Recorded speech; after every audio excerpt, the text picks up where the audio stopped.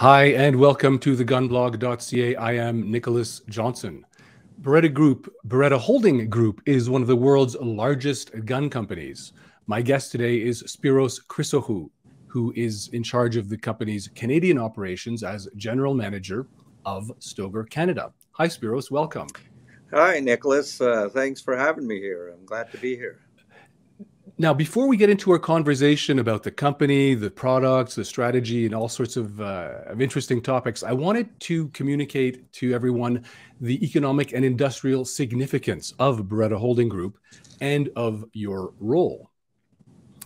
So, although Beretta can trace its roots to the 1500s and the Beretta family in Italy, today the corporate holding company owns some of the world's most iconic and prestigious firearm and optics brands, including Beretta, Benelli, Franchi, Sako, Tikka, Chapuis Armes, Stoeger, Steiner, Burris. You see them up there on screen.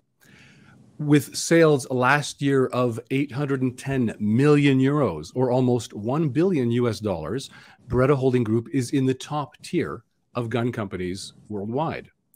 It's one of the biggest actors in the Canadian firearm industry, where it operates as Stoeger Canada and manages imports from factories around the world, distribution to gun stores across the country, and advertising to customers. And you, Spyros, you've been general manager of the company since March of 2014. You've visited the most factories around the world, from the most advanced computer-controlled factories to the most ancient artisanal craft workshops.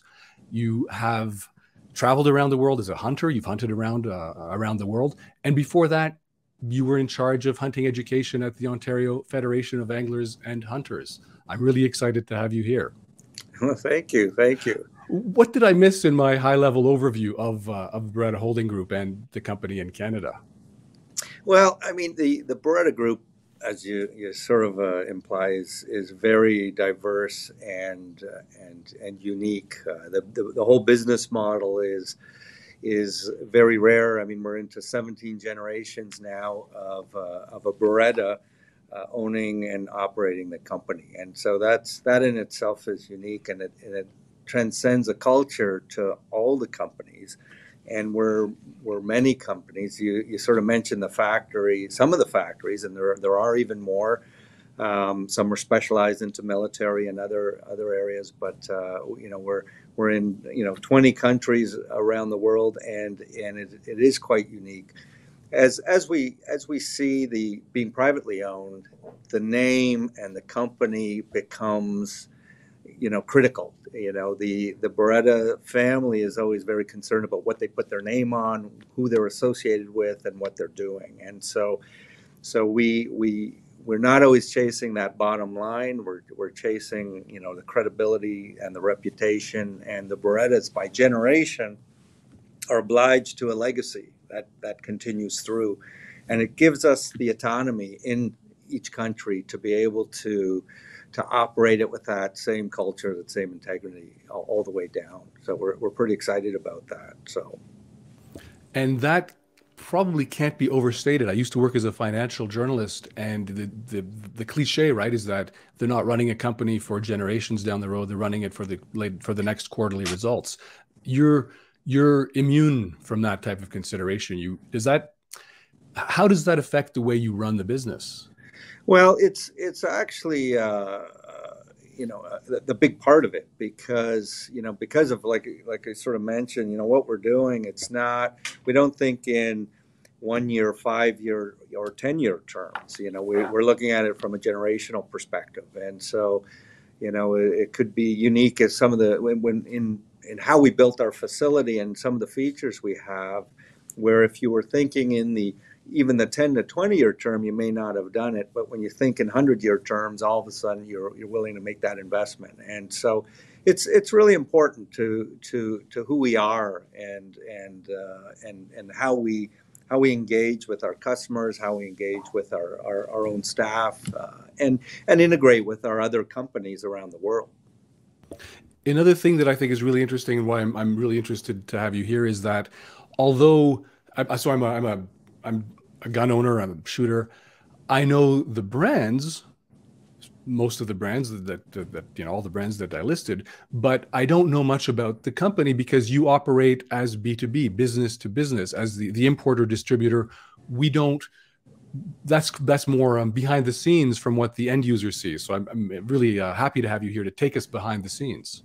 Sure, sure, and and you know, and that's that's a, a great point because you know Stoeger Canada in itself, you know, is our trade name within Canada was since 1976, and so you know each brand stands on its own merit, and that's that's really what the the customer, the consumer, the end user needs to see and, and appreciate. You know, we we love to see when, you know, for instance, the Benelli. We always, you know, reference uh, sometimes the Benelli owner is a bit of a cult ownership where they they love Benellis and only Benellis, and and so you know when you know we as a company appreciate it and support that kind of thinking. You know, uh, even though they're part of the group and that's that's top down where you know one could look at if we were a shareholder type company that there would be a lot of redundancies that you would want to eliminate and because we're privately owned they they enjoy and encourage some of those redundancies because it keeps the companies innovative stops them from blending everything into sort of one sort of look and feel. It, it keeps the, the, the, the, differences within the brands and, and keeps them fighting for their own market share. And it's and it's pretty exciting from the inside watching it because you know we're certainly because all the factories are coming to us and, and trying to gain our attention as well. And, and so we could we could then bring that to the consumer. And so it's uh, it's pretty exciting to see. It's uh, an, an experience so we're going to have a problem here because you've already said a bunch of stuff that I want to follow up on, and I have a, I've got pages, a couple pages of questions here. But um, I want to just zoom in on something you said here. The the I, I the loyalty to the Benelli brand is that that's really interesting because I would have assumed that you have the, the the fanboys or the cult following for any brand in the world, not only brands of your group. Is is is there something special about the Benelli user?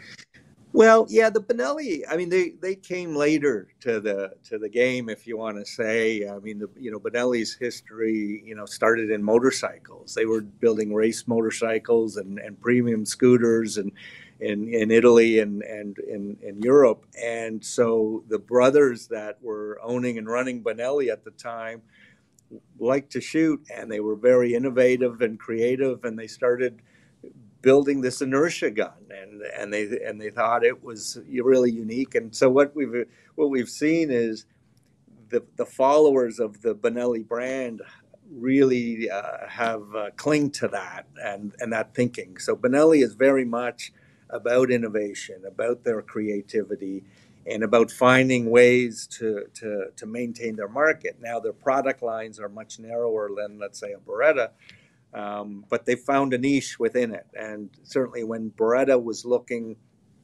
you know, with with their great gas guns, they we thought they, they realized that Benelli has become a real competitor for them. And so like many things, you've got your choice. Do you do you do you reinvent the wheel to compete with them, or do you buy them and bring them under the umbrella and let them compete with you, but all uh, you know inside the umbrella? And so that's that's how they've chosen. And that's that's just to, to digress for a second. You know, part of Beretta's model is you know when we, when we look at those brands, they they don't buy brands as, as an investment. They buy brands as as uh, to fit into a portfolio, and so each brand represents a space in a portfolio that's very important to them. And by by bringing them in, being able to apply expertise in production, production efficiencies, quality, quality control, engineering, uh, and R and D, to create a product that that's not driving costs up. In some cases, bringing it down, but more importantly, improving a product, improving its uh, production and its the capacity of the factory, and then applying a global uh, global network of distribution uh, for it. And so, so where the companies can really excel, uh, it's it's pretty exciting to see their transitions. Is that different from any other brand within the Beretta Holding Group or any other gun company in the world? It's, it sounds like well, this. It sounds like they're trying to say that this Benelli is is in some way unique. in wanting to improve and innovate and limit costs and and but is, well, that really so, unique? Yeah, so it's so two tiered on on that on that on that sort of in the conversation because um, one from Beretta's model within the group, they've applied that to all the group brands. So every time they they look at examine a a company for acquisition, it has to fit a certain model for them. It, it has to have room. It has to have good brand, good people, and room to really apply those those those things to. Benelli itself, uh, you know, is certainly a top tier brand, and you know their culture. When you think of uh, where they're located, if to to be able to go to Benelli, it's in Urbino, which is a UNESCO site. The whole the whole town is is is a, is a heritage site. There, the factory cannot expand it's it's maxed out on its footprint in the region because the whole region is is a sensitive uh, region uh, in that in that aspect. So how do they increase capacity is by you know increasing R and D and efficiencies within it. And so when you walk into the Benelli factory, um, it's it's very much you know everybody's wearing lab coats, everybody's you know uh, really a technician of sort the robotics, the, the computerization, and, and uh, the efficiencies within it are, are, are much higher than many factories outside the group, um, and even certainly inside the group as well. Uh, and it's something they've evolved to to be able to make their improvements and and satisfy global capacity or needs for capacity. So it's uh, it's quite quite unique in, in that sense. It's it's fascinating. Okay, I, I want to. I just want to. I want to come back to this stuff, but there's sure. so much I want. I'm, I'm an ambitious guy, right? There's so much I want to cover uh, today with with you. We don't have we don't have all day, but you're you're getting me to the to think that we really could do a deep dive on every single one of the brands has a has an incredible story, an incredible history, and and hopefully an incredible future. Um, yeah, I know. I, I, I want to switch to just change tracks here to the we're coming to the end of 2021. We're recording this on the 14th of December, 2021, and uh, right now I wanted like a little bit of a year in review. How was this year for you guys in Canada? Geez, where to where to start? I mean, I guess uh, in in a word, uh, you could say fantastic. Um, you know, certainly being sensitive to the global pandemic and and a, you know a lot of the you know the, the, the sickness, if you want to say, and and uh, that people have gone through. But from our industry and certainly from Stoeger Canada or and the Beretta Group's perspective, it was a fantastic year sales wise. Uh, we came into 2021. Well, let's if we go back a year in 2020. In 2020, it was a fantastic year, um, driven by unfortunate circumstances. One being COVID coming in and the fears around COVID we had uh, fears of gun bans. Politics were were were, were really threatening and, and looming over our heads as a black cloud. Uh, the Order in Council came out, so there was a drive to to purchase uh, guns. Things were locking down. People had nothing else to do. Certainly, global unrest in the U.S. Um, drove U.S. tactical sales, which in turn started driving Canadian tactical sales. And so 2020 was was certainly a terrific year as far as sales went. Looking at 2021, we thought, well, there's no way to replicate that. Uh, you know, things are going to settle. You know, this pandemic can't last, and uh, here we are. Uh, we were wrong, and 2021 was even more outstanding than 2020 was, uh, and and driven still uh, somewhat along the same rationale, but I think the big one for us in Canada, well, tactical sales are up, and and tactical sales in Canada are a smaller percentage of the overall sales, and so when they're when they fluctuate. Um, you can see as a percentage they move quicker and easier, uh, and and so we've we've seen that, uh, and they they've done really well. Um, what do you hunting, call tac- what do you call tactical sales? Well, is, that, is that police and military? Well, uh, well, or? not going into police and military, but in, in if we want to talk about the tactical guns, you know, the Benelli M4s, uh, the, the, Supernova tacticals, and, and handguns as well would would get put into that as well. Okay. Um, you know, in, in, the U.S., they'd call it home defense. you know, you know, we just call it, uh, you know, tactical and, and or tactical in some cases, uh, certainly. But hunting is still the core of the Canadian hunting and and sport shooting is the core of the Canadian market, and so we saw a great increase in 21 because the ranges were open for the full year, and so in in sporting, competition shooting, precision shooting on rifles uh, and target, but also clay targets as well. Uh, hunting, uh, it was great to see a lot of lapse hunters come back uh, and get back into hunting. People couldn't travel, so they were they took advantage of the outdoors and, and went out and and uh, you know were whether they were shooting you know rabbits or or up to big game, uh, they, they certainly indulged and it's and and we saw that we saw that enjoyment of the the outdoors, and uh, it was really really something great to see long term. Uh, again, you know, we, we we talked earlier. We don't we don't work on short term. It's nice to have some spikes here and there, but we we like the the long term game. And the more people that hunt, the more people that shoot uh, competitively, uh, recreationally, the the the more people in the outdoors, in the industry, uh, and involved, and and uh, and that's what feeds feeds the long term game for us. So. Let's dig in a little deeper. What uh, what were some of your hot sellers of this year? where where to you know where to start? I mean, because they all spiked. Uh, I mean, certainly if we looked at sort of the the black gun tactical side, I mean, there was the you know the the, the Tikka, the TAC A1 in a in a bolt rifle, uh, the the Benelli M4, uh, which is sort of the if you want to say the top of the food chain in shotguns, especially tactical shotguns, because it's being unique where it wasn't a hunting gun that got you know painted black and turned into a tactical gun with accessories. It was a gun designed for the law enforcement and military, and and that that is able to be used, uh, you know, for for you know recreational sport shooting as well too. So it's it's uh, it's done really well. The pump actions uh, did well. Again, talking the tactical side.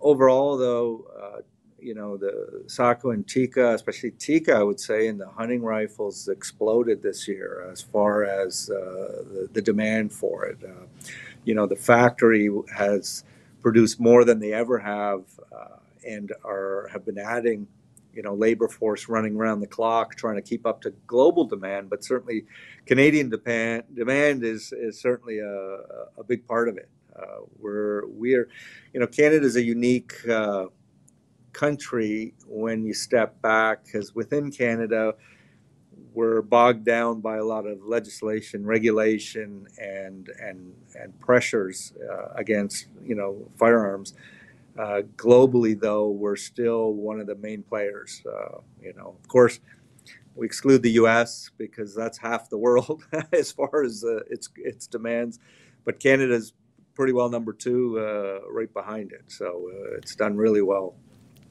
And when you say that, is that um, Canada's number two, right behind the U.S. for Beretta Holding Group as a whole?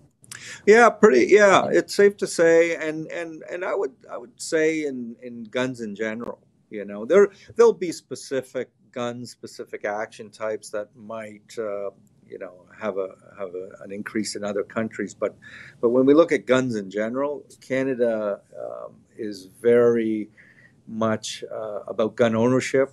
The, the amount of guns an individual owns is, is high. The amount of guns an individual desires to own is high.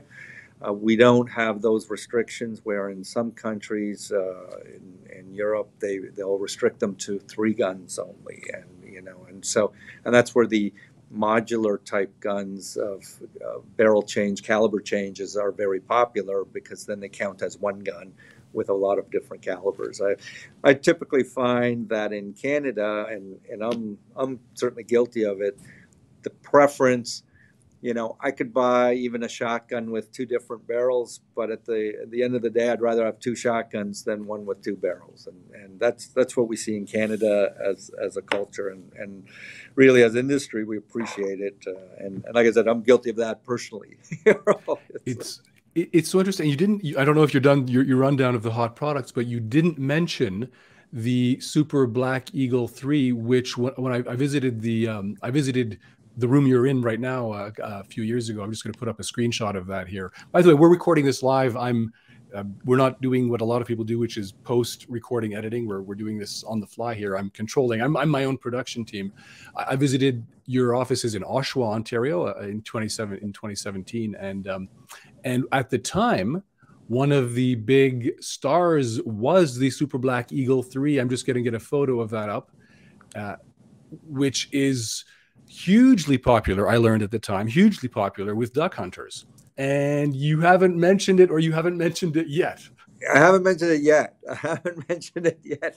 I was moving moving across. Yeah, no, the the Super Black Eagle three. Uh, you know, and again, that's that's the the the Benelli, you know, fan club for sure. Uh, is you know the Super Black Eagle two. Well, the the one, then the two, and now the three is is completely taking over in that hunting. The and it's it's very uh, special in the real appreciation comes in to those who hunt hard the avid hunters uh, are the ones who really uh, take to it because it is the workhorse. Uh, it you can't stop it, uh, and you know when you spend a lot of time in the field, whether it's waterfowl or other, it's uh, you you learn to really appreciate what it does, uh, how it feels, and how it shoots. So so it's it's done exceptional certainly this year as well as its main competitor, the A400.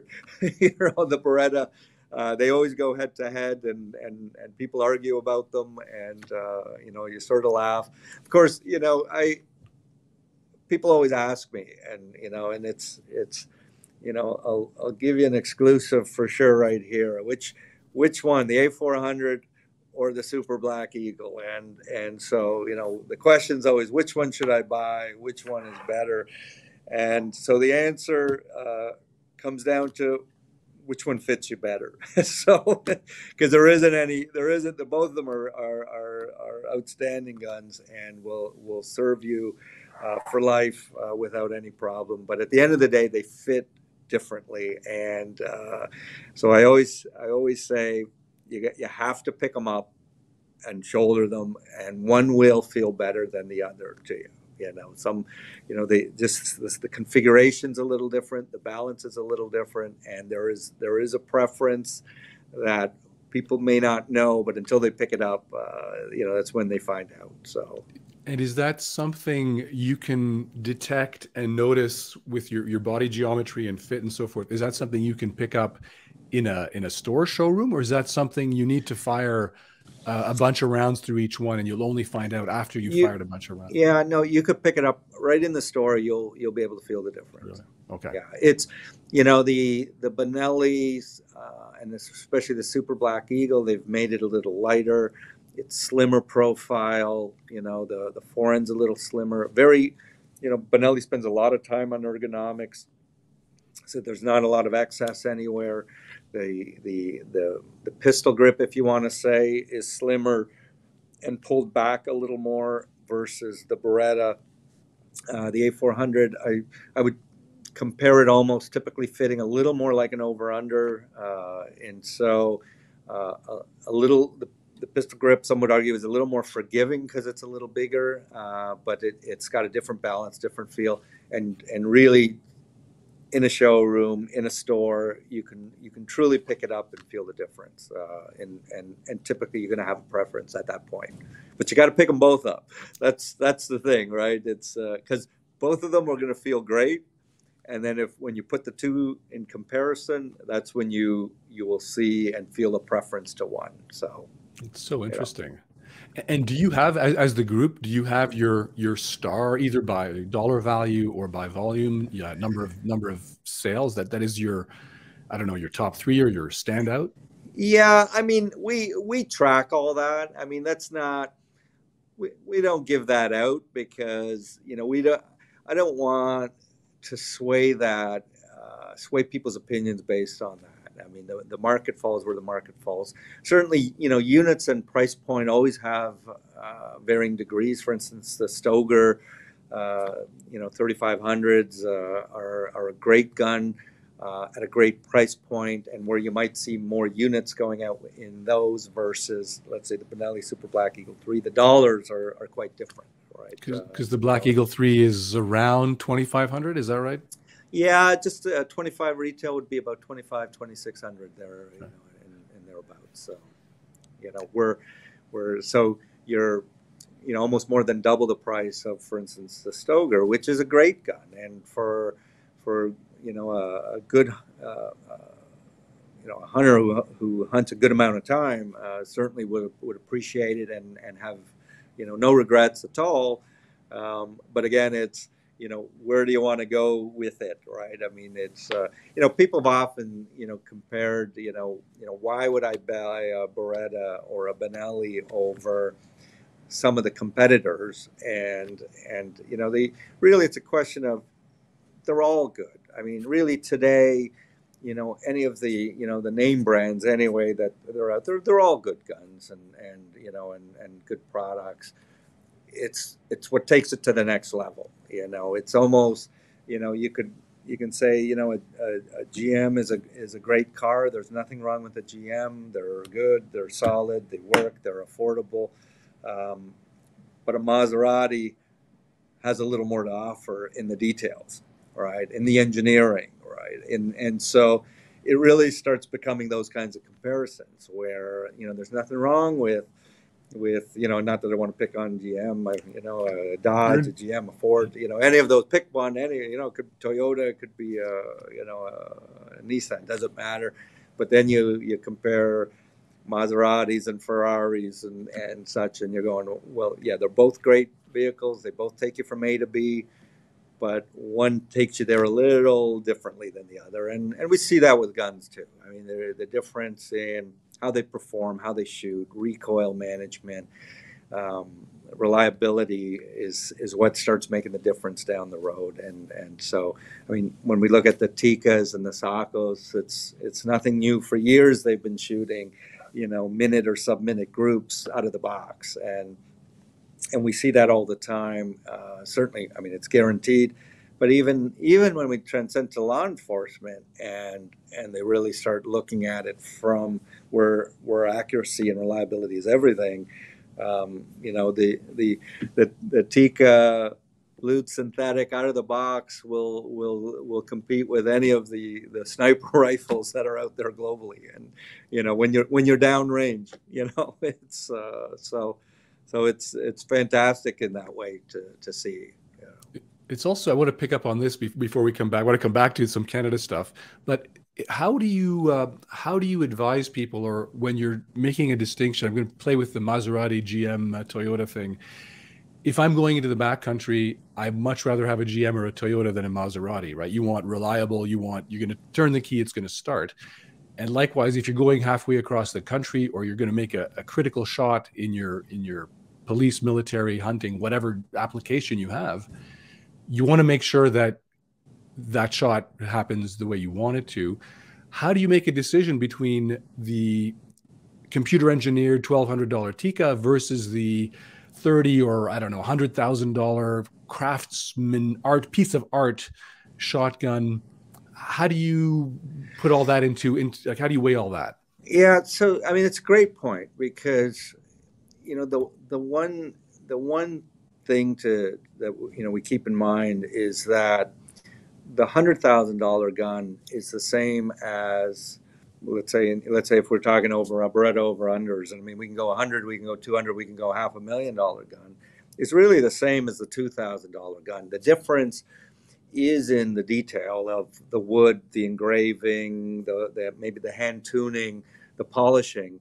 Um, it doesn't affect reliability. It's not where it becomes more temperamental. If you take that hundred thousand dollar gun into the backwoods and, and, and into rough country, say where it's going to be less reliable, you may get some scratches on it, and it may cost you more if you're going to repair those scratches or if you don't just appreciate them as character. Um, but functionality is going to be the same. And so, really, and you know, the, the one thing you know we say is when whatever price the gun is, and whether you you get up over into six figures or or higher, um, the guns are made to shoot, and they're they're made to hunt, they're made to shoot, and so you know we don't make guns as showpieces. Every gun is made to, to be able to be used in the field, shot with perfect reliability. So, so there isn't, you know, I mean, I, I would always tell people in anything I've learned, you know, in my own years of, you know, buy the best you can, the most you can afford, stretch a little. Uh, it's a lot cheaper than than trying to work your way up on, in a bunch of levels. You know, if you could skip levels, it's a lot cheaper in the end. Um, but but the, the, our guns are made for using. Um, you know, it's not. It's you know, I've I've seen, I've hunted with guys that I mean, you know, you're you're looking at their guns, going, you know, I could buy a house with that, right? but but they're but you know, well, a little harder how, nowadays in Toronto. How many how many uh, house priced guns do you sell? How many half a million dollar guns do you sell in Canada a year? Well, in there, so in in typically when we're getting up into the big price points, there the factories are involved and we're bringing customer and factory together because it's you know at that point you're not off the shelf. Uh, you know it's there's very much uh, customizing, engraving, what kind of engraving. You know we've we've had. Uh, you know, within in gold coat of arms for families uh, put engraved into the wood and with gold inlay and such. So, so the factories are very involved. So they're not. We don't count that as uh, going out the door from Stoeger Canada per se, where it's it's really it's it's part of the family brand that we bring we bring people and product together. The, I should just as a sidebar mention that we did ex- exclude, which one of our newest purchases, which sort of falls in line with when we're talking about price point, is Holland and Holland. So Holland and Holland was uh, the latest purchase uh, from the Beretta Group, and so that uh, was just recently done uh, in 21, and it's a great addition to the group. Uh, you know, we know Holland and Holland certainly of the classic calibers, 375 H and H and and such, but certainly their their double guns. Uh, you know, Rain King. you know the well Rain King and even the Queen shoots them. So or, or did anyway. Prince Charles certainly does. But so they're they're a classic uh, English gun. Uh, again, the, the pinnacle of, of double guns uh, globally, really, and from the English perspective.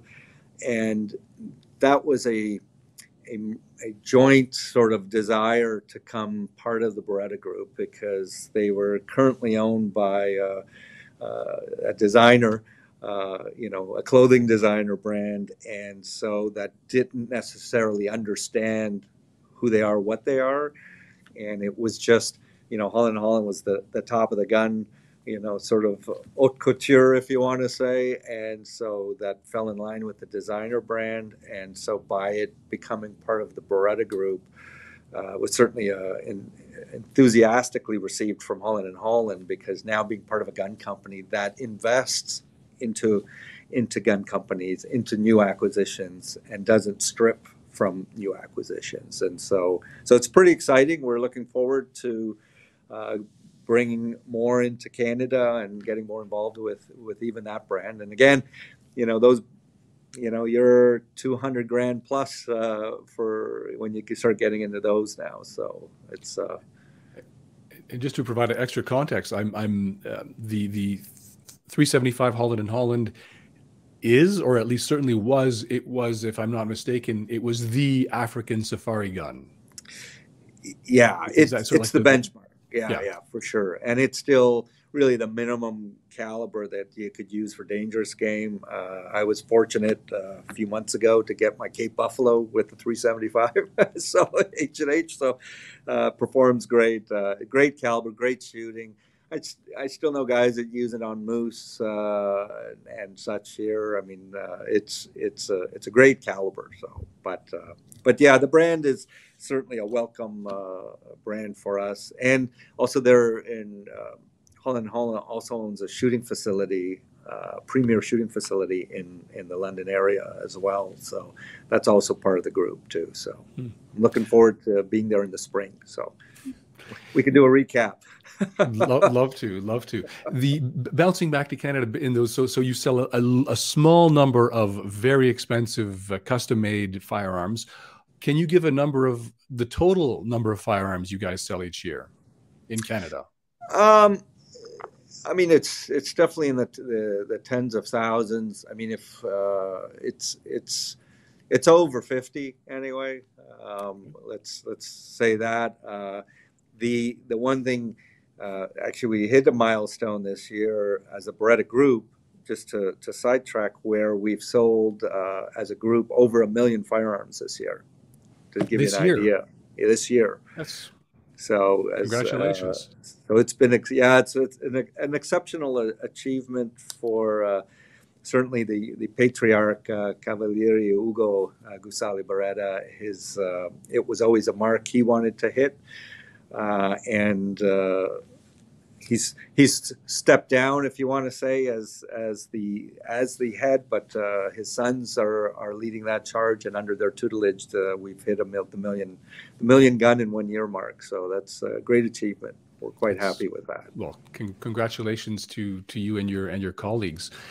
When you um when you're deciding on the Canadian market, are there how do you decide between which models you will bring in, which new models, and which models you don't want to bring in?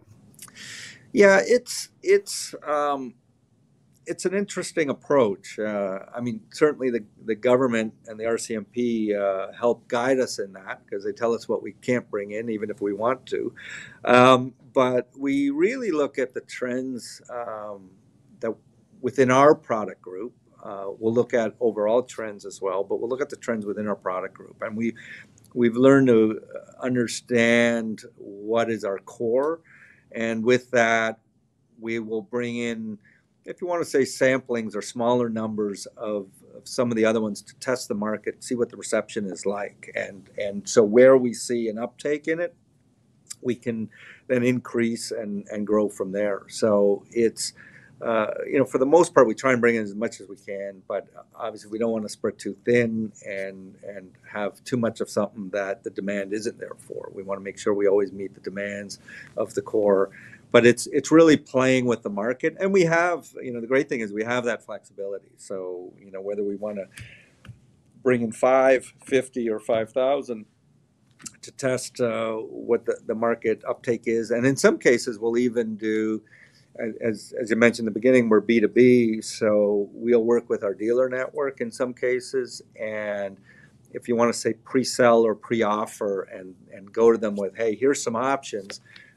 Are, are these of any interest? Are your customers asking? We're ready to bring them in, either a finite number or in, in you know uh, indefinite or a non-specific number, and just keep bringing. Uh, so so we'll play with the market in, in that sense, but we'll we'll try and and often with you know where you know the European appreciation for some products is different than the North American one. Um, we'll we'll often test and with with global marketing that the companies do and the factories do, we then get feedback from consumers as to just by by nature of question and uh, you know emails of hey are you bringing this in or watching social media our own social media uh, our factory social media and to see where where there there's interest and and what's tweaking people's uh, thoughts at that point so so let's let's look at let's zoom in on another case study here. This is another company that recently, just in the past uh, this year, joined the Beretta Holding Group. That's the Chapuis Armes, and the this is the Manurhin MR73 Sport, iconic revolver that is a 50 year old, almost 50 year old design. It's used by the GIGN, the, uh, the French uh, anti terrorism, counterterrorism unit. And, and this is, I believe, the revolver, um, the, not this one, but the, the, the, model that was used in the, gosh, when was that? The hijacking. They didn't use ARs, they used a revolver to take down the, the, the hostages in an airplane hijacking. Um, something like this it's it's in Canada. It's in stores. I'm seeing it priced from memory around thirty five hundred dollars. How do you? How many? what's been the interest in in this kind of a model? Well, that's this one is really a, a special uh, a special uh, product specifically within the Chapuis Arms uh, group because uh, you know they do over unders, they do a straight pull, they do side by sides, but this specific uh, product uh, is is really something special. So when when Chapuis became part of the group, there was already a demand for these products in country, and so so, which really helped our transition because often uh, the waiting list on these could be one to two years from our distributor standpoint to get these in. So, so we were fortunate that there was already production allocated to Canada, and so when we took over and they became part of the group, we then just took over all that existing uh, earmark production, and so so we're kind of fortunate here that we had the products, we have them, and we got them out. You know, like you know, you, you sort of mentioned it's where it's been used, and it's it's somewhat unbelievable when we see all the police forces going to semi-autos and and you know and and you know ARs and semi-autos and and and here they're pulling out. They're in a hostage rescue situation. They're pulling out revolvers, and really, uh, I mean, I had to buy one of these myself, and so, so it, and it's and it I had to get it because once you pick it up and once you shoot it, there's no turning back. It it shoots so well, uh, so smooth. It makes everybody look good. uh, the tolerances are exceptionally tight. Uh, and so its reliability is is is bar none. And so and that's why in those cases to be able to to do the the draw and and to be the confidence in taking the shot and uh, you know in in those police and and special task force uh, requirements. I mean, once once you pick it up and shoot it, I mean, you just you don't look back because it, it really makes it easy. I mean, I I know I go to the range personally, and I've got you know all my different semis and that. And nowadays, if if I know there's there's people around and I want to impress them, I'll just bring that, and, uh, you know, and it makes you look good. So, uh, but no, it's a fantastic gun. It, it's uh, it's really some, and we like I said, we're fortunate that we have them in country, uh, and we have now. A steady flow that will continue to come in, and and the volumes at that price point for a revolver, are are very good, uh, very good, and surprising. Uh, you know how how steady it is. Uh, and can you give us an idea? Would you sell in a in a year more than hundred, less than hundred? Um, it would be probably a little more than that. Uh, okay. You know, given off the top of my head. You know? Right. But uh, but yeah, it's uh yeah it's I always once once people touch them, you know, it's you know again goes back to that Maserati scenario where this is this is the engineering, the detail is is so is so precise yet you know which translates to to uh, performance. Uh, we've got a couple uh, shooters in Canada, uh, you know, um, let's say Rolly, uh, Miles, and uh, and Mark.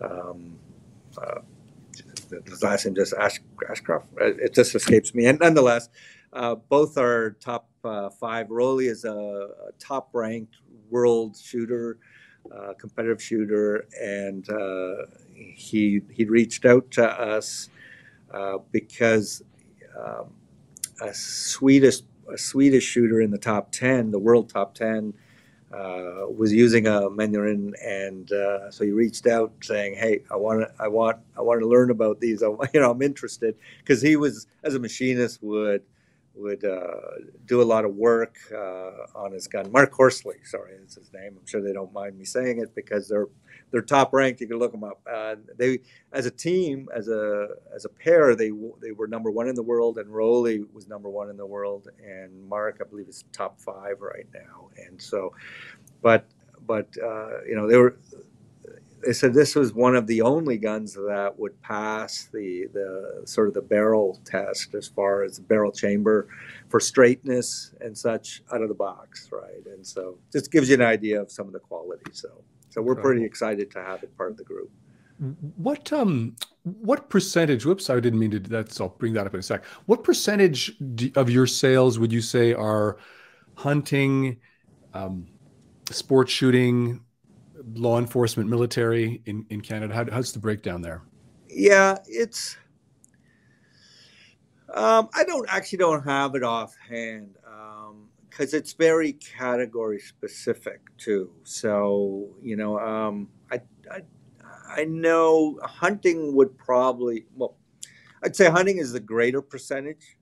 Um, sport shooting, you know, certainly follow, and then you know, defense and law enforcement would be under that. Uh, you know, I mean, I guess you can go hunting, uh, competitive uh, sport shooting, tactical, and, and law enforcement military specific as well.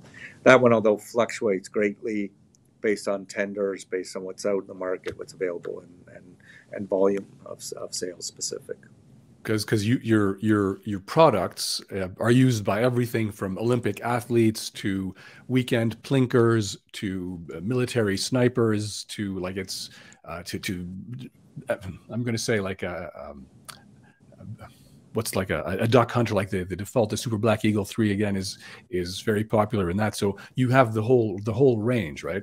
Right. I, I want to zoom in and now on the um, on the the military contract that's underway in canada. And i'm just going to put up here a slide with with some of your government uh, government agencies clients. The, can you tell us so the the government uh, so the military has a tender out for its new handgun and I thought it was a shoe in for the Sig Sauer P320, and Glock's distributor went to the tribu- uh, Canadian International Trade Tribunal to uh, to object to the terms and conditions of the tender offer, the, love the language, and, and what it said. You intervened with the distributor for Sig Sauer, MD Charlton. Which um, where do things stand on that at the moment? Um, well, the, the tender is still, the RFP is still uh, out. It's, it hasn't been withdrawn. Uh, the, the, you know, it, when we go back, I started working personally on the, uh, uh the pistol requirement with uh, the Department of Defense in 2009, January 2009. The January SHOT Show 2009, I had started working on that. And so, it's been a long time in coming. We've gone through probably three different, you know, options of pistols for it as the as the requirement has evolved and as the needs on the on the the front line and and operationally have evolved. Uh, so they've moved through it. The the desire for uh, the Army Department of Defense to look for a modular pistol were really them looking forward into the future. Canada uh, is very well respected in what it chooses, what it uses uh, globally with all the global military and police. Um, it's safe to say we can be very slow in our procurement. Hence, the current Browning High Power was a great pistol in its day and during World War II. you know, those those days have come and gone now, and it's uh, it's time for a change. And really, you know, as a Canadian, you know, I really look at it in in first. We got guys out there in harm's way, guys and gals uh, out in harm's way, and you know, shame on shame on us as Canadians that we ill-equip them while they're out there doing what we've asked them to do you know, fighting for our uh, ideology, fighting for our, our freedoms, fighting for what we believe is right, and then we ill-equip them, and and that's a big concern for me. And so, my first and primary desire is always that these these these service people have the equipment they need. Um, the Department of Defense has, uh, through a long and tedious uh, exploration and discovery, have come up with a requirement that they want and wish in a in in the pistol in this case, and so it's very future oriented. Um, they don't, you know, they we don't know what the future holds, what the future theater will hold and, and require. And so they desired a, a modu- um, certain modularity or modular characteristics in a pistol that would help them transcend into that future. Um, and so anything that slows that down, as a Canadian, I'm offended.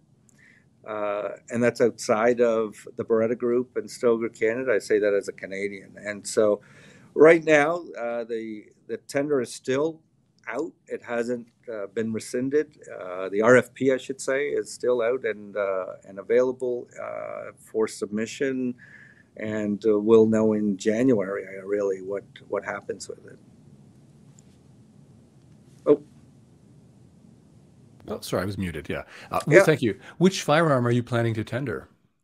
Um, well, I mean, we I don't want to get into the specifics, but certainly if you looked at our our uh, our, assortment of, of uh, handguns, one of them would would be could be the Beretta APX.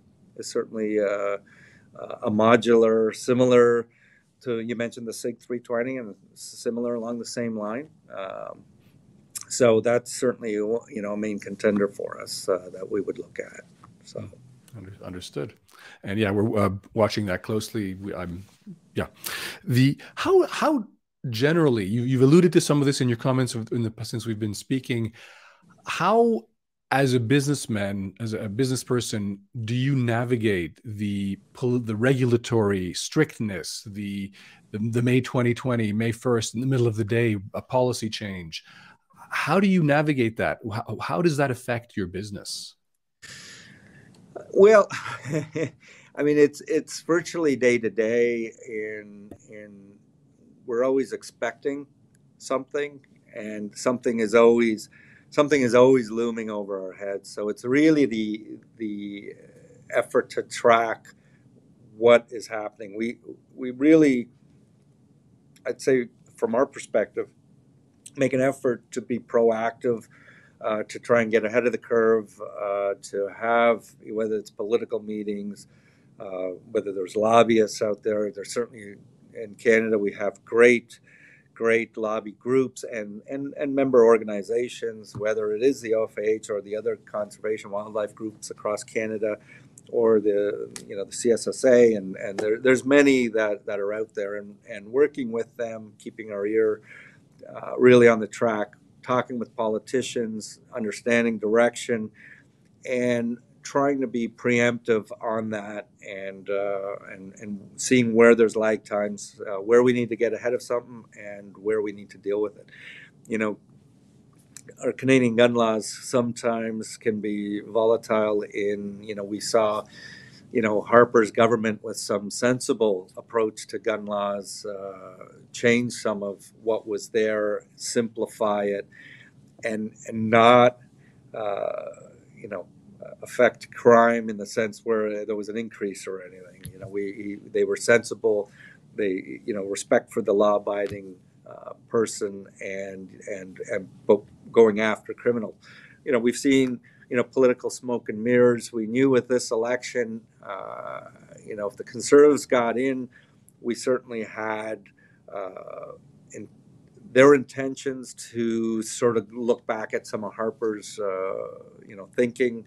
Uh, and it wasn't. I mean, of course, you know, I'm saying Harper, but it's certainly the parties and and and certainly some of the the advocates there. And so, but I guess to the point, it's um, it's every day you wake up and and and, and you wonder what's going to happen. But we just we just try and stay stay involved. We you know try and stay involved with you know politicians, bureaucrats, policymakers, uh, and and you know certainly consumers, businesses, and users too. Uh, and and so we there. We even like uh, to work uh, with our embassies. Uh, that you know being a such a diverse company of, of, of countries where we like to work with the embassies uh, to, to gather support uh, and, and insight through them as well wherever we can. So because it's it's there's a there's a perception. It's I'm very happy to hear you say that as a as a I'll call it a gun rights advocate. I'm very happy to hear you say that because I had the perception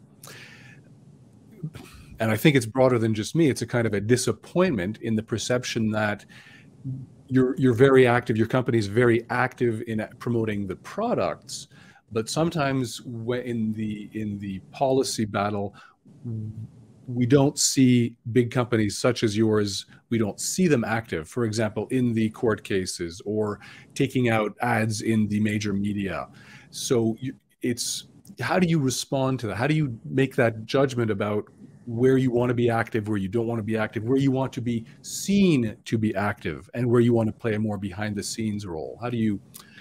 Yeah, I mean that's it's a great point, and and we are very active in the behind the scenes at a higher level um, in in supporting, let's say, the industry groups to do their to do what what they can do.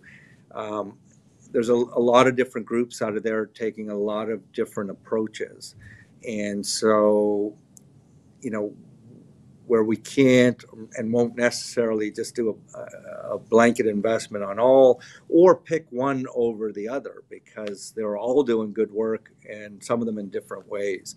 Um, really, as a as a as a corporate entity that we are, we are, you know, certainly supporting businesses and consumers and and the groups to to make their approach we're uh, we're working with uh, legal teams and politicians and, and bureaucrats on on the other side to to really sway policy from a different approach. And that you think I'm, I'm that you I'm assuming the reason we don't really know about that is because you think that it works best in a closed doors private like you're not sending out press releases and taking out full page ads to slam this or that politician you're, you're taking a mm-hmm. different approach Right. Yeah. No. Absolutely. Absolutely. It's a different approach. It it won't do us any good. It won't do the community uh, any good if you know if because we'll burn a bridge there that otherwise we have right and and we're able to to get the ear of of certain people um, because we're allowing you know the the consumers the organizations the the, the not for profits to to really chase that uh, and uh, you know from the front line and we're trying to work it from the back line from political view. And, and that's where where i mentioned even the embassies getting them involved because you know there's you know prohibitions and and bans if you want to say impact global trade. And so so there's different approaches that we're trying to work on. And uh, and by all means, you know, because we're not doing press releases doesn't mean we're not active and we're not supporting all those efforts because we certainly do wherever we can. Has there been, um, well, there was a proposal around Bill C seventy one a couple of years ago of uh, I'll, I'll, just I'll just give the short kind of a shortcut. Uh, charge an extra five bucks per gun to create a special legal fund to do some high profile court challenges or an advertising fund uh, you're buying a thousand dollar gun or a five thousand dollar gun or whatever, you'll pitch in an extra five bucks to. Uh, you, you have the option at the store to pitch in an extra five bucks, or just raise the price of the gun by five bucks. Is there any, uh, as an industry, or is there any kind of discussion about what can be done, something like that, or something to raise the money to raise awareness and contribute to the debate more, uh, more publicly? Sure. Uh, I mean, there's there's been those discussions, and certainly the benefit you know, when we look at the U.S., they've they've got the, the if you want to say the tax built into outdoor product lines and how it's controlled, and it's taken at the source. Um, the the idea of doing it in Canada is you know is, is a great idea. The what hasn't been sorted out is who's going to collect it, who's going to pay it, um, who's going to control it, uh, and and so it, it runs into to those areas. When we look at uh, let's say a U.S. model, if we looked at the NSSF in the U.S. and their expanse and strength uh, and the, their efforts, it's it's a little more centralized. Uh, it, when we look in Canada, we have the the CSAAA certainly doing great work, but we haven't you know we haven't unified it in Canada. So do, does a not for profit then control it? Um, and and it hasn't really come onto a table where you know, do we set up a board of all the stakeholders? And, and is that board five people or 500 people? And, you know, how are decisions made? Who controls it? How is it done? And so that becomes, unfortunately, the obstacle. You know, I've often said, you know, the, the greatest, uh, you know, strategy for uh, the anti-gun or anti-hunting community is to put a bunch of hunters and shooters in a room and and let them talk. And and they'll end up fighting over everything you know? The muzzleloaders don't like the rifle guys the vertical bows don't like the crossbows. I mean and we end up doing a lot of infighting that you know we can have our preferences but you know it's like a family. At the end of the day when when we get together we need to be a, a you know uh, sort of unified in, the, in that sense. So to your point uh, it's a it's a great idea. It's a matter of who's going to control it and and and how do you manage it and how do you get all the players in uh, and supporting it you know? Where one doesn't feel uh, you know they're they're they're you know putting in the lion's share and then therefore they should have more say and i mean you know it's it's the typical politics that happen uh, within within that kind of group. But in principle great idea another thing that you just mentioned that I want to follow up on is the the and, and, it's really interesting to have your your point of view as you know you've been in your current role for eight years. Before that, you were in charge of hunting education and uh, and at a, at a, hunting rights I'll call, it, I'll call it hunting rights organization, the Ontario Federation of Anglers and Hunters. A lot of gun owners want more prohibitions. I'm referring to the so-called Fudds, the gun owners who think their gun is somehow exempt or their ownership will somehow be exempt from the next wave of prohibitions and confiscations. And exactly the situation you, you described the, the, these these this group is thinks only they should have guns the other group should have theirs guns confiscated. What's the way out of that?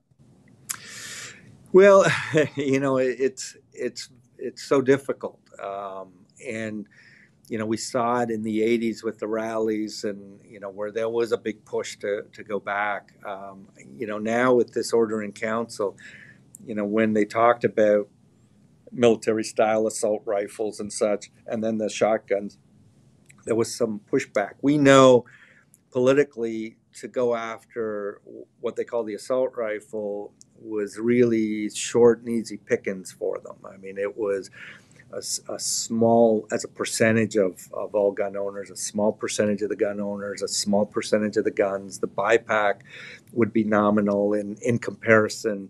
Um, they can, you know, they can get their taglines about banning guns, making the making Canada a safer place, um, yet having little impact on on anything. Uh, so the the really the issue, you know, you talk about what is what's the answer, and and it's it's a change of thinking that you know un- unfortunately may take drastic measures.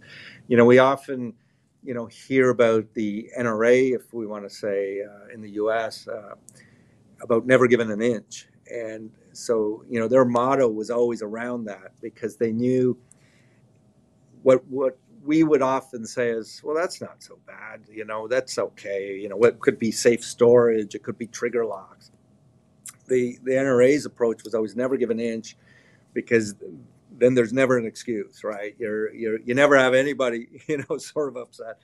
Um, but certainly in Canada, we we unfortunately we start saying, well, I don't shoot handguns, therefore I'm not worried about them, or I don't have an assault, or you know, why do you need an assault rifle? E- even education within the our own gun community becomes an issue, where you know we'll often hear, well, what do you need a 30 round mag for? And it's, you got to remind, you know, even within our own community, well, we don't have 30 round mags, right? It's, uh, you know, we, we get inundated, you know, from, from our marketing perspective, it's great that we get inundated with U.S. marketing, and uh, because that certainly helps subsidize our own marketing here in Canada.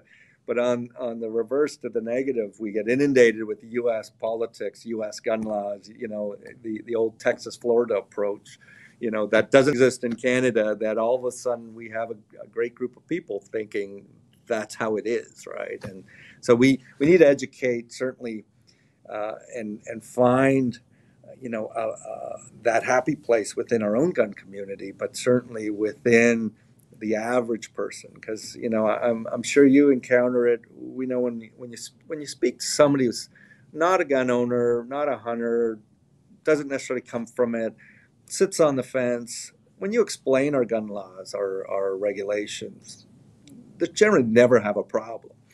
You know yes there's a 10% or way out there on the extreme that you know we're we're never going to convert. We don't care, right? You know, you're just never going to do it. Don't waste your time. Let's gear it to the middle, right? Is is and again, we don't necessarily want everybody to be a hunter and everybody to be a, a shooter. We don't have a range enough ranges now, right? But uh, certainly, just to appreciate that uh, we are working within, uh, you know, within the law. We are not bad people, and we're we're we're engaging in an activity that uh, is is really you know productive and uh, and people are passionate about.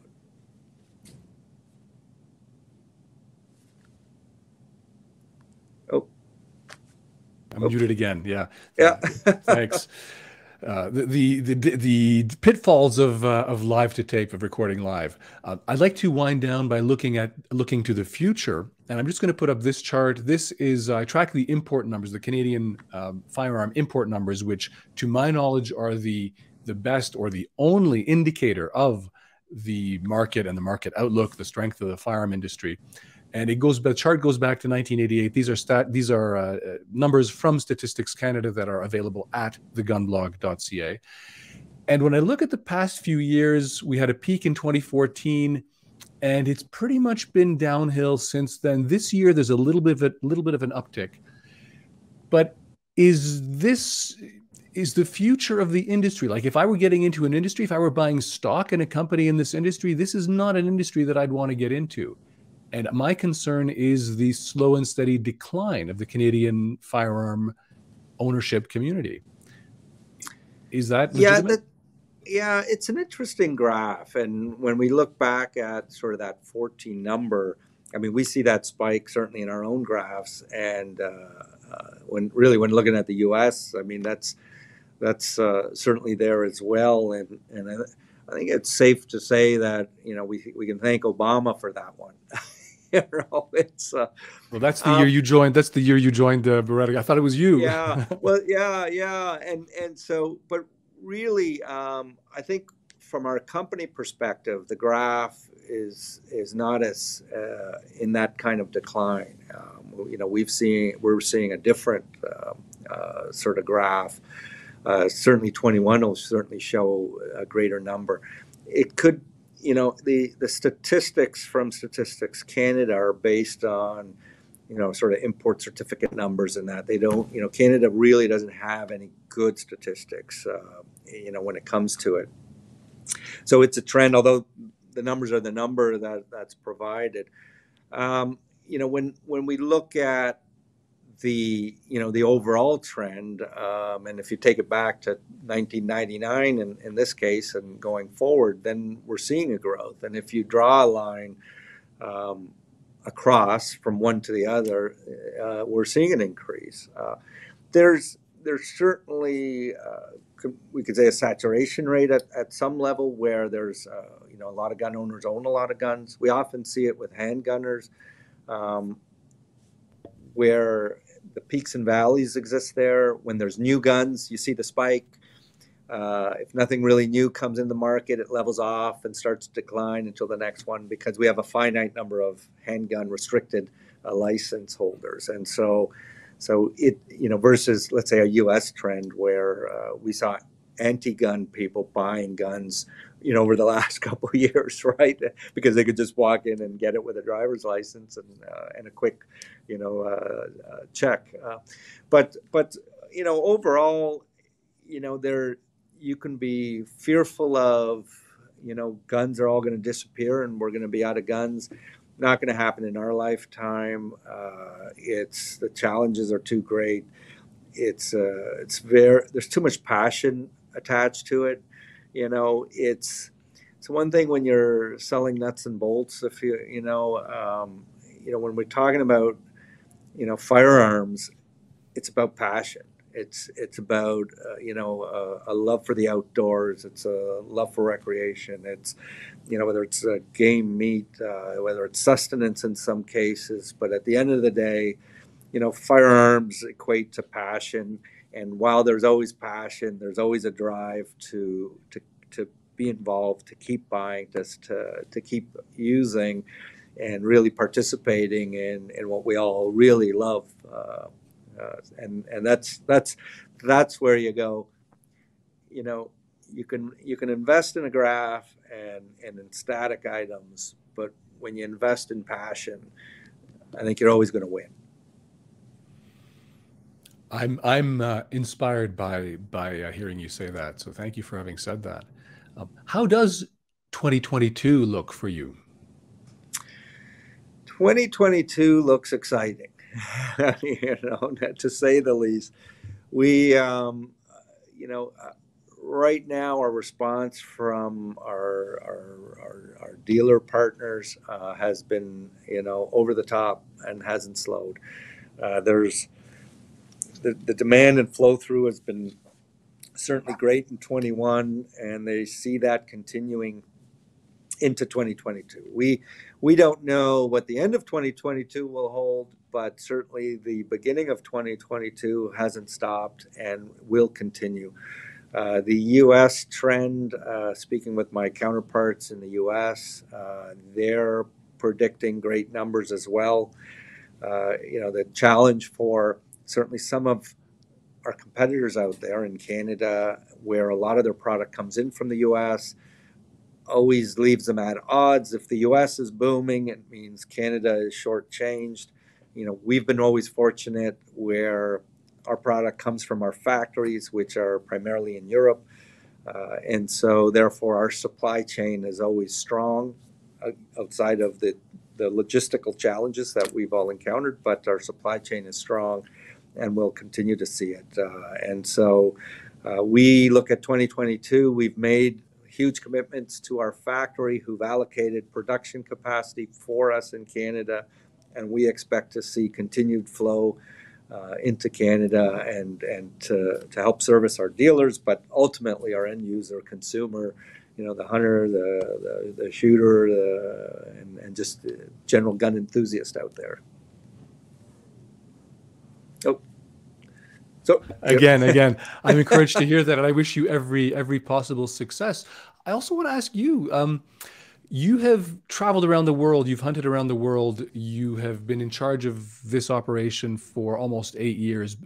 You've done a lot of other stuff, but how has this job and this role and visiting factories, the thing you said at the very beginning, visiting the most modern uh, to the most ancient factories and workshops, how has all of this shaped your thinking and and and how you are?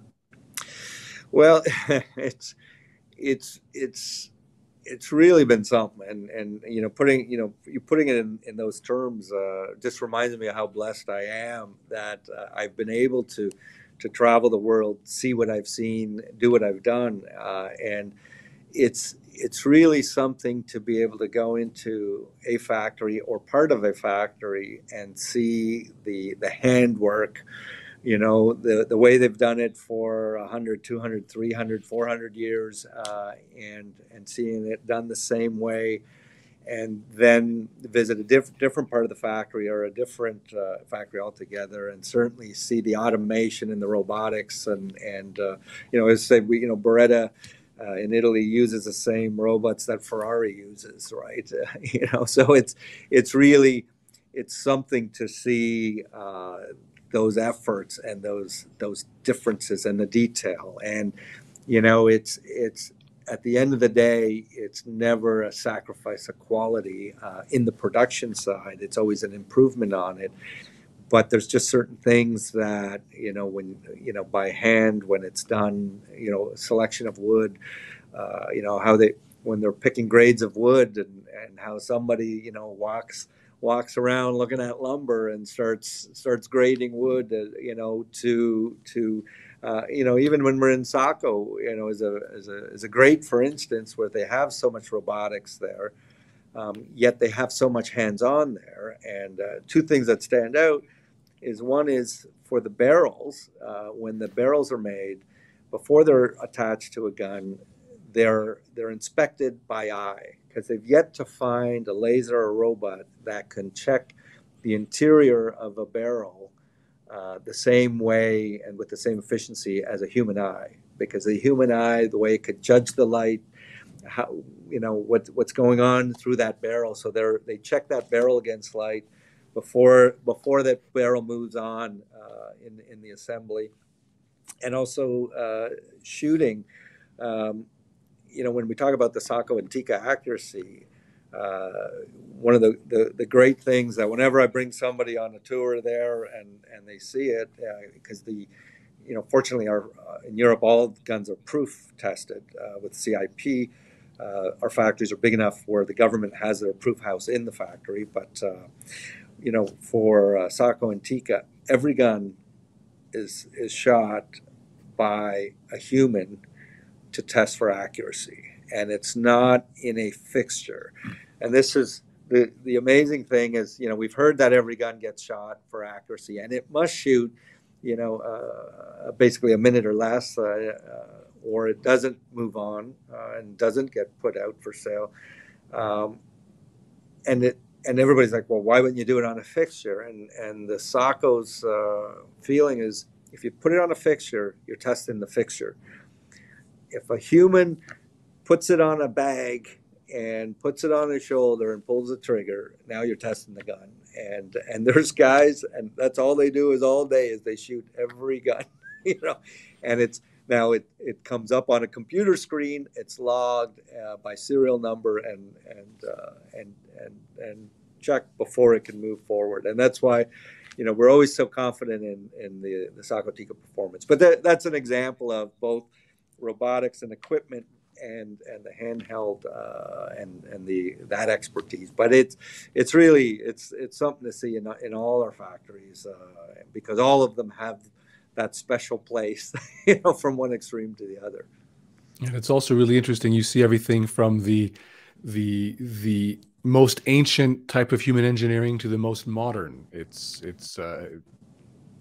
Oh yeah, absolutely. Yeah, it's it's something it's something, and that's and that that becomes a real part of the culture to what makes the product great and what makes us, the factory, and certainly us uh, as part of it, uh, so proud of all our products. You know, it's uh, it's important, and even, you know, if you saw some modern pictures of, of even the Beretta factory, they have plants and green spaces all throughout the factory uh, trees inside the factory, uh, you know, displays and chairs, and you know they have so many delegations go through that there's always you know the the spots there. I mean the the detail there is is always visible to all the employees, all the visitors, um, but certainly that that feeling of you're not just in a factory you know you're you're you know you're you're in a place that builds dreams I, and I, I wish hearing you say that, I just wish that